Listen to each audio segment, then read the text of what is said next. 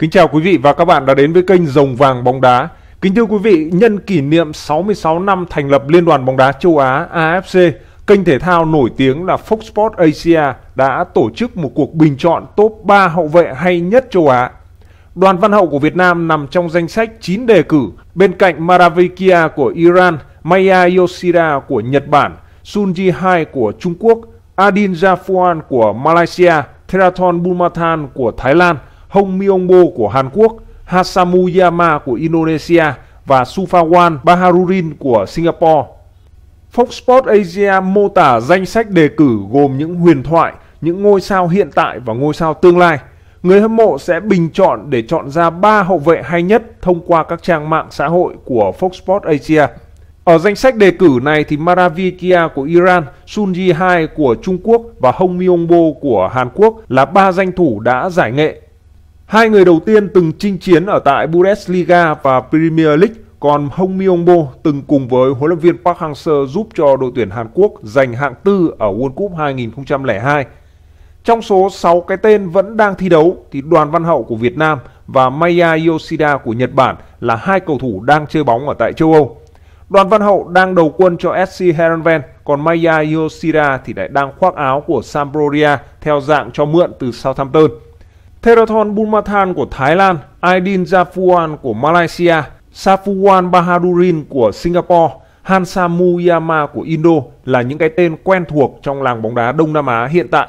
Đáng chú ý là Theraton Bulmathan và Hansa Muyama là hai hậu vệ từng ghi bàn vào lưới của đội tuyển Việt Nam.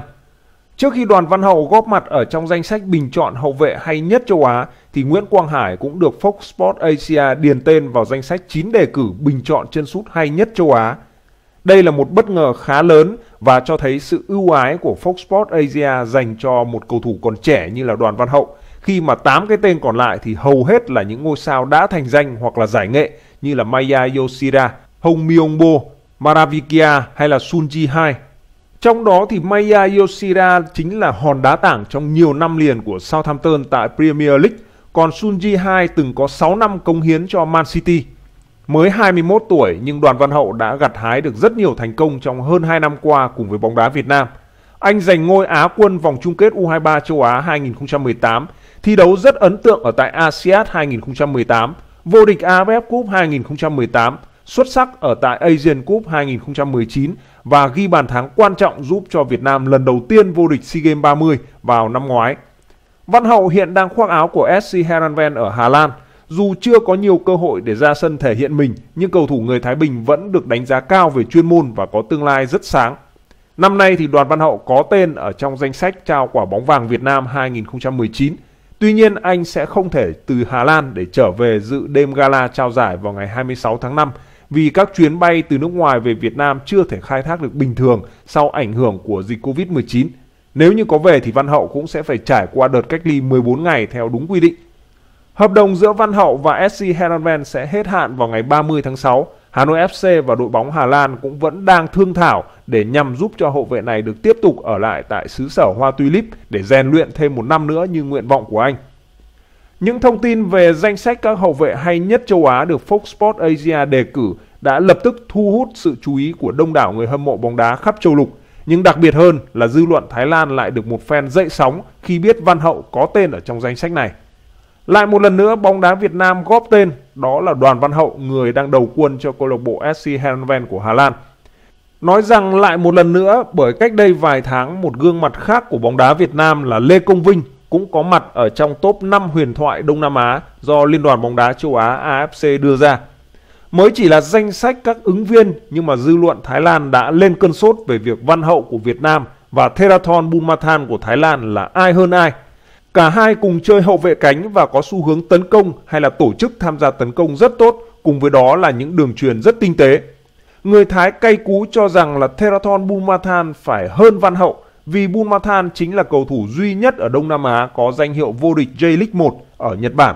Mùa giải 2019 vừa qua, trong màu áo của câu lạc bộ Yokohama Marinos thì Theraton đã vô địch J-League 1 của Nhật Bản. Người Thái cũng nói rằng là Theraton là cầu thủ Đông Nam Á duy nhất có danh hiệu lớn ở một quốc gia khác. Còn Văn Hậu thì lại có bảo bối của mình là anh đang chơi ở châu Âu, mà cụ thể là câu lạc bộ Heerenveen của Hà Lan.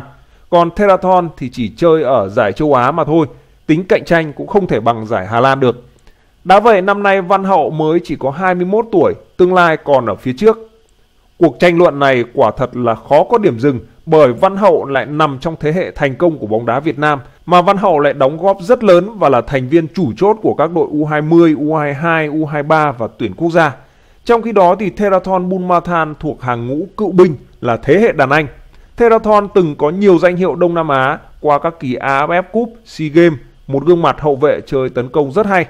Về khoản này thì Văn Hậu cũng không thua đàn anh Theraton, nhưng Văn Hậu lại có những thành tích nhỉnh hơn ở đấu trường châu lục như là U23 châu Á, ASEAN 18, Asian Cup 2019 và hiện tại thì anh đang mang mác là đá ở châu Âu. Và hãy cùng chờ xem cuộc bầu chọn trực tuyến xem hậu vệ của tuyển Việt Nam đạt được ở vị trí nào.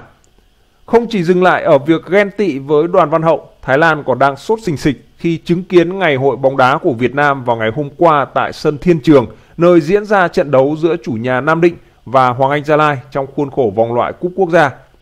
Sau 2 tháng tạm hoãn vì dịch Covid-19 thì bóng đá Việt Nam đã trở lại với những trận đấu ở cúp quốc gia.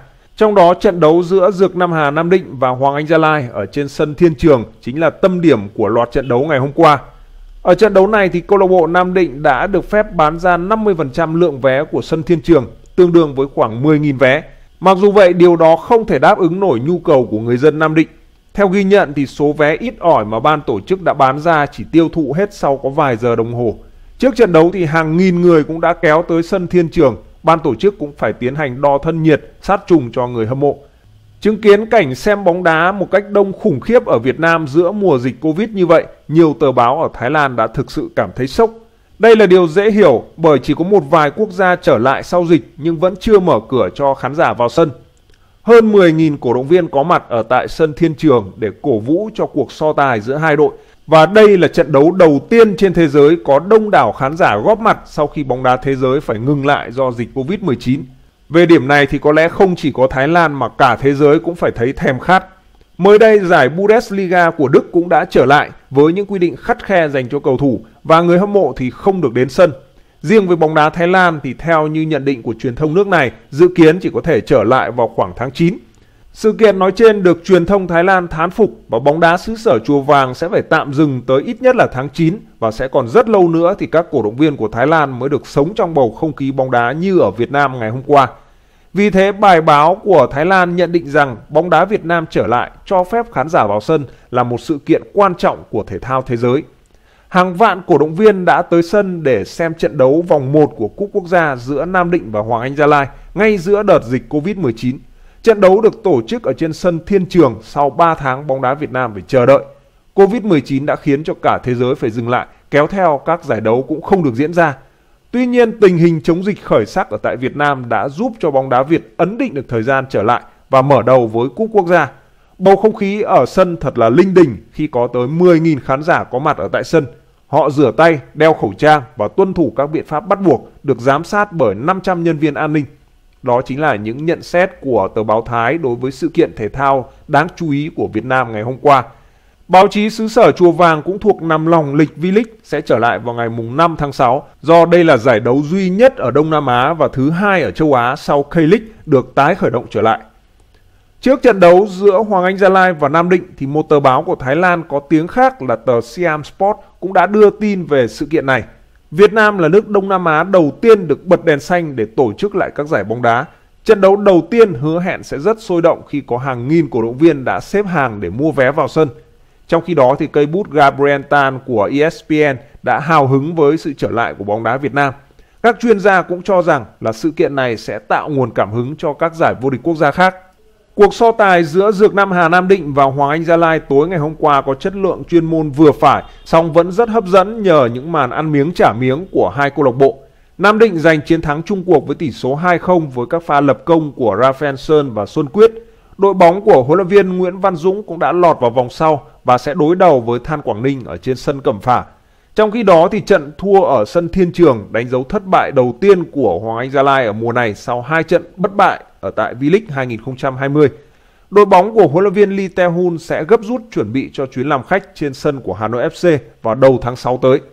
Quý vị và các bạn hãy để lại những bình luận của mình ở phía dưới video này. Rồng vàng bóng đá xin cảm ơn những bình luận của quý vị và các bạn. Còn bây giờ xin chào tạm biệt và hẹn gặp lại quý vị và các bạn trong những video tiếp theo.